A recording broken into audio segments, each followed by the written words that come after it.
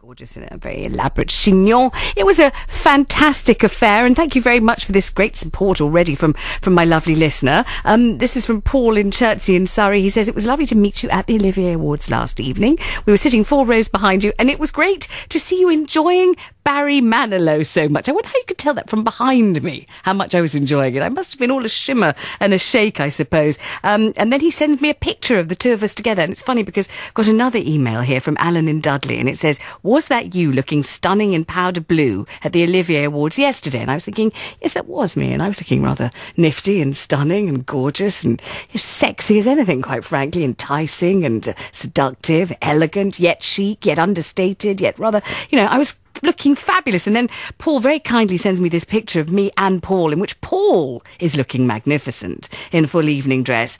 And I am looking like somebody who ought to be announcing on Radio 2 the diet resumes this morning.